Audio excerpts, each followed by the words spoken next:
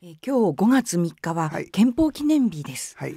田原さん、今日はやはり憲法の話を伺っていきたいと思います。そうですはい、えー現在ですね、安倍首相は憲法96条を改正し、うん。でこの96条というのは憲法改正のハードルをまあハードルがまあ国会議員の3分の2となってるんですね。はい。これを3分の2から過半数に、うん。要はそのハードルを下げようという改正になるんですね。はい。96条というのは。はい。はい、でこれがまあ参議院選挙の公約になるとも発言されています。うん。ね、これに関してえ朝日新聞の世論調査では反対が54%、はい。賛成がは38%い。ということで、えまあ、反対過半数超えてるんですが思ったより少ないかなという印象あるんですが田原さんどうご覧になってますか、あのね今から見ればね例えばにあの日本の今の憲法でははい憲法9条っていうのがあってつまり、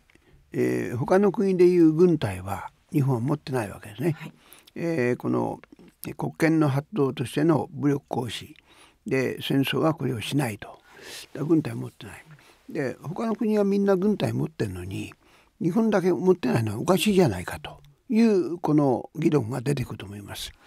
でやっぱり他の国並みにアメリカだってイギリスだってフランスだってドイツだって全部軍隊持ってるんだから もちろん中国も中国もそれから北朝鮮も、えーもちろん韓国もだから軍隊持つべきじゃないかとそういうふうに直すのは当然じゃないかといううこの声がね今だと多いかもしれない。普通の国へという言葉をよく最近聞きだけど。逆に言うとねなんでこの、えー日本が独立して以後ね独立したのは、えー、1952 50年。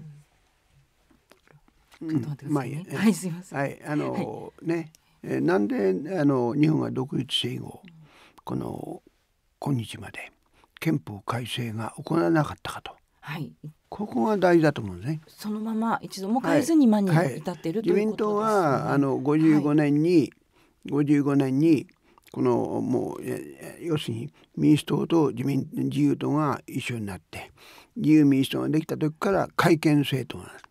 改憲を訴えてるのに、会見するということを訴える政党です。はい。はい、決でね。の公用にはい。改憲と歌ったにもかかわらず、なぜ改憲できなかったのかと。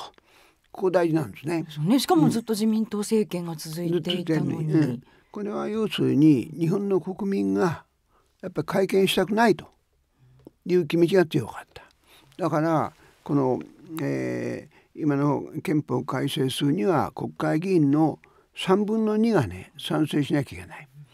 で必ずね必ずこのずっと長い間3分の1以上野党の反対勢力があったということあもっと言えば社会党はい。と共産党が、えー、3分の1以上取ってたやっぱり三分の二を超えることはなかできなかった。できなかった。ずっとできなかったという。でなぜそのねはね、うんこの社会党と、えー共産党が3分の1以上取ってたかというとなぜ日本の国民の多くが憲法改正をしたくない。なぜか。こういう問題なんですね。でそれは僕は小学校の5年生の、えー夏休みに戦争が終わるんですが、ね、で、えー1学期まではこの、まつまり太平洋戦争ですが聖戦であると。正しい戦争だと。で世界の侵略国である。アメリカイギリスオランダそういう国と戦うんだと。でアジアをええ独立させるんだと。いう正しい戦争だというふうに教えられた。で君らはこの戦争のために死ねと。天皇陛下のために死ねと教えられた。ところが夏休みにこの戦争に負けたら2学期になると同じ先生があの戦争は間違いの戦争だったと つまり侵略戦争であったで、えー、1学期まで英雄だった東條英機さんとかそういう人がみんなね犯罪者になった。で、えーそれで君らは戦争が起きそうになったら体を張って戦えとこう教えられた。つまり言うことがガラッと変わった。180度変わってしまう。で、えーその時からね、あ国っていうのはね信用できないんだと。うん僕らを騙したんだという気持ちが強かった騙されたんだと。でそのね先生が 5, 5年生の1学期まではこの戦争は聖戦だ正しいそれが2学期になったら間違いだとなるでしょ。だからもう国は信用できないんだと。でさらに言うとあの戦争は僕があの太陽戦争をね侵略戦争だとは実は思ってない。思ってない。はい。えー、であれは何かというと世界の侵略国対侵略国の戦争なの。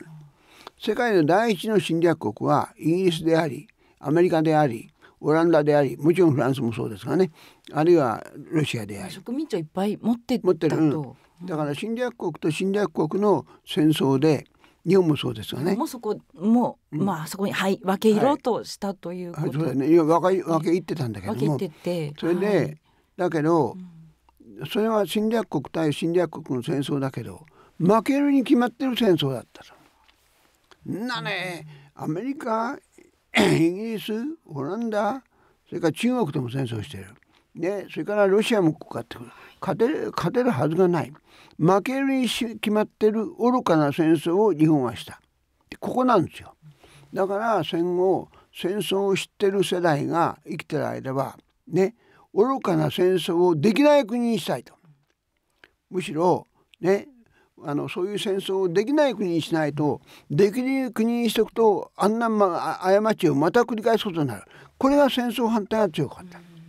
でで今ねあの要するに憲法改正という意見が強くなってきたのはそれはあのつまり戦争を知ってる世代がいなくなったから実はあの戦争を知ってる世代の最後の世代が僕たちなんです。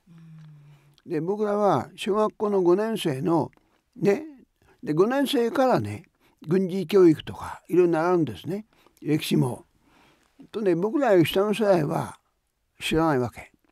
とね だから戦争を知ってる世代が多い時は圧倒的に憲法改正反対だった。もう憲法9条がやっぱり戦争できない国にしとかなきゃダメだと。うん、うん、ところがそういう世代がどんどんどんどんいなくなった。はい、で今になってねつまり例えば、えー、日中の関係が対立してると。ね、あるいは北朝鮮問題あるだから憲法改正なんてこれちゃんちゃらおかしいこんなこと言ったらねずっと長い間冷戦でねつまり日本はアメリカの味方でねソ連と対立してたんだからうちのははるかにつまりあの危機感は強かったわけで。でまあそういういなくなったと。いうことで今ねでこの会見の論議が出てきたんであって。なんで今までつまり会見が出なかったのかっていうことをもう一回考えられる必要がある。でじゃあねつまり、えー、その日本の国が国民を騙したってことは今も変わんないんだ。ね。だから僕は簡単に会見に行くのは非常に慎重であるべきだし特にね外国でドイツでどこでもそうですがみんなね憲法改正するのはやっぱり3分の2以上の賛成がなきゃ変えられないんですよ。なんで日本だけがねこれを過半数にするのかそこなんです。ままずそこを過半数にしようと安倍さんはしておられるんですね、うんはい、だから今ね、うん、変えやすくするってことになります、ね、だけど今ね、はい、変えるなら変えてもいいと、僕も護憲じゃない。そしたらねやっぱり3分の2取ってね、会見すればいいじゃないか